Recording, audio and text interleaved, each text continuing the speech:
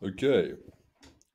I'm going to talk about estrogen, which is probably the most polarizing topic in this space, which uh, everyone likes to disagree to disagree on, which I think is hilarious.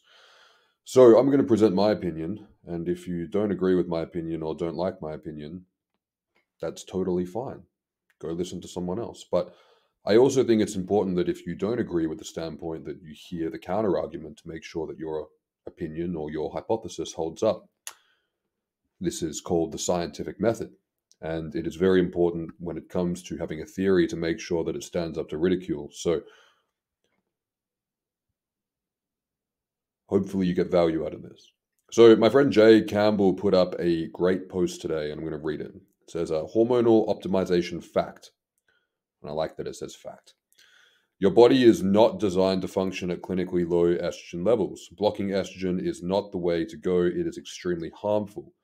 People throwing around, quote, estrogen dominance as justification don't understand it's really insulin resistant. Insulin resistance causing high levels of systemic inflammation. Now, Jay has been banging this drum for some time now.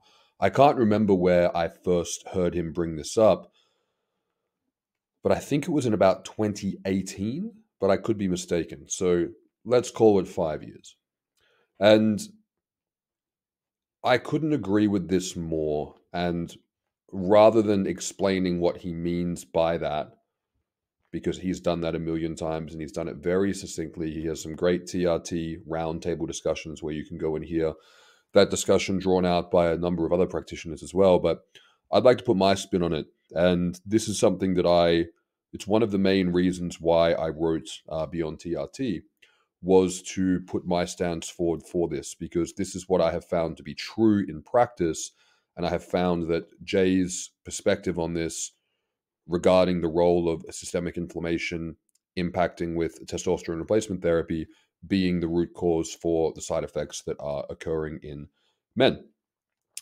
One thing that I've mentioned for some time now, and naturally I think it is correct because it's my fucking bias, right? Is that firstly, TRT doesn't always go smoothly for everyone. I think that's an important thing to note. I think that it's important to understand that guys do get side effects when they go on TRT, and often these side effects resolve with time. And that's an important point to make. And I'm going to get back to that. But other times they don't.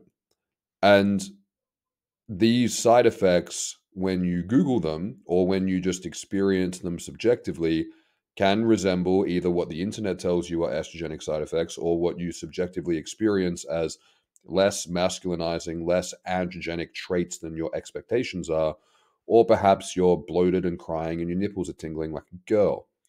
So it makes sense why people point the finger at estrogen. And can estrogen play a role in the pathology that you're experiencing? Sure. But that's like saying that water is bad because you drowned in it.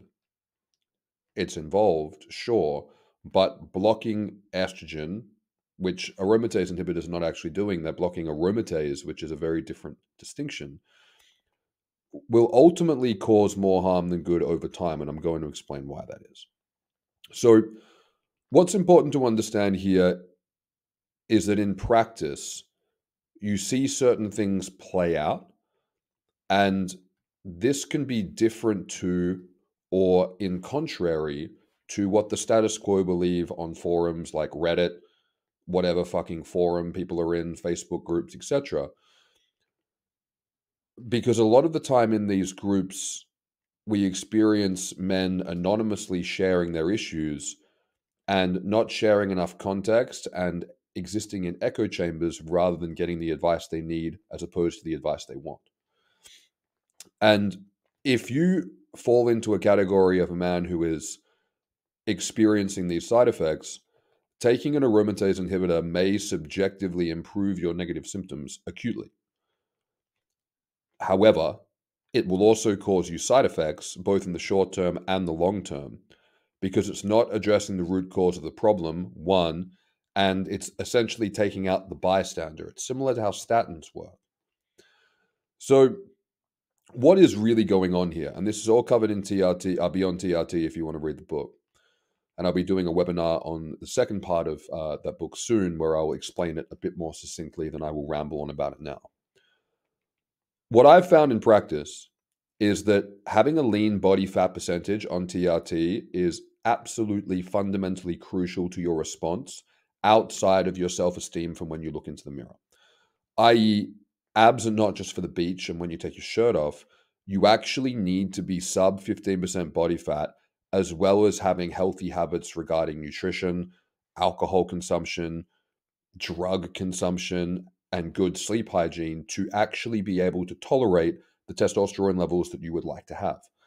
And this makes sense in terms of looking at from a common sense approach, but a lot of the time western medicine doesn't follow a common sense approach to looking at the human body as a series of interconnected systems. It looks at pathologies in isolation and then people wonder why when they try to shift certain variables in certain directions it all goes to shit and they don't feel quite right.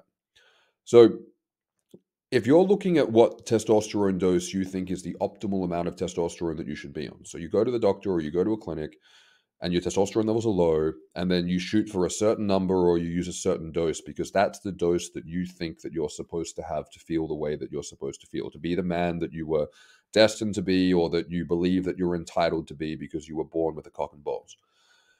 And in reality, a lot of the time, the testosterone level that you have in this situation when you first go to the doctor is completely fucking appropriate for how you're living your diet, how you're living your life if you're boozing and not sleeping properly and eating like crap and you're fat, you are not supposed to have testosterone levels at the top of the reference range or above. You are not. You may want to, and you may feel better in some ways if you do, but your body is not going to tolerate it because your body is actively suppressing your natural testosterone production. So then when you come in with exogenous testosterone, you rub some cream on your balls or you do a couple of injections a week, your body goes, What the fuck is this? It is not enzymatically equipped to actually handle that amount of testosterone. And then you wonder why you're getting side effects, and you're wondering why the side effects are estrogenic. And it's because your body is so inflamed that it is suppressing your natural production. And this inflammatory state doesn't mix well with optimal testosterone levels.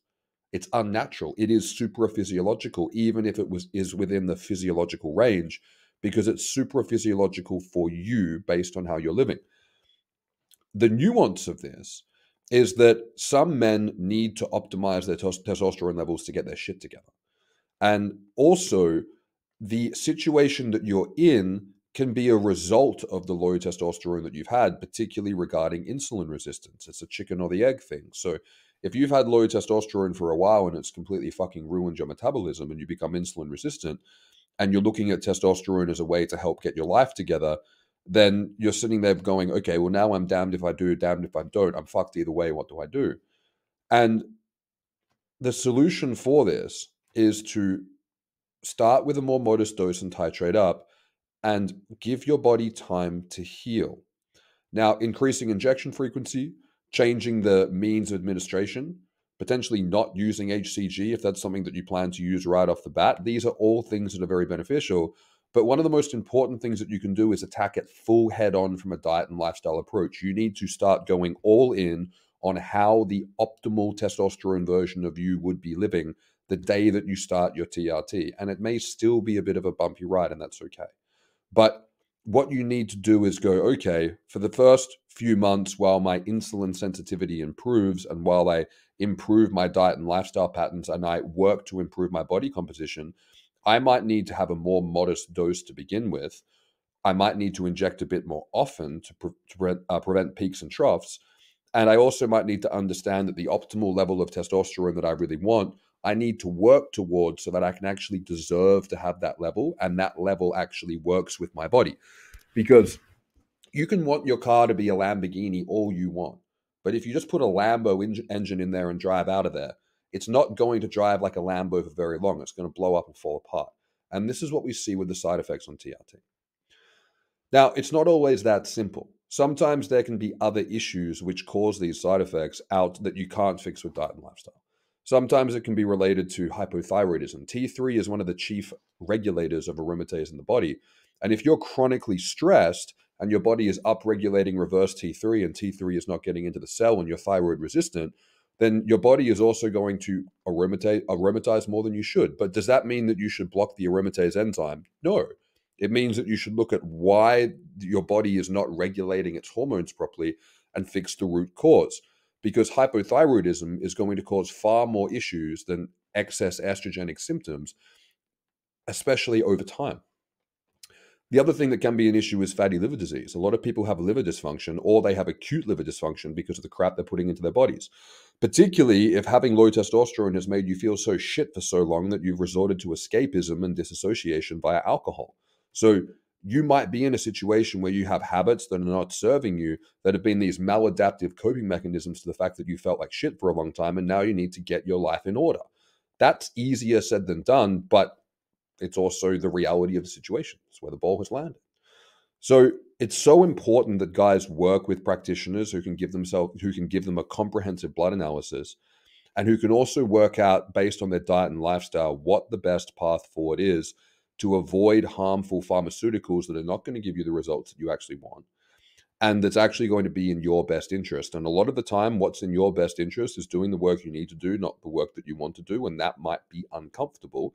But if you want to achieve the expectations that you have, you also might need to realize that not applying yourself in that way is unrealistic and you're just not going to get the results you deserve. So I'm in a situation now where I have thousands of clients on TRT and I have for the last few years, and I have zero who block estrogen, zero who use um, anything like SERMs or aromatase inhibitors because we get to the root cause of why they're not tolerating their testosterone properly and we adjust their dose and we adjust their diet and lifestyle accordingly. We're patient, we give it time.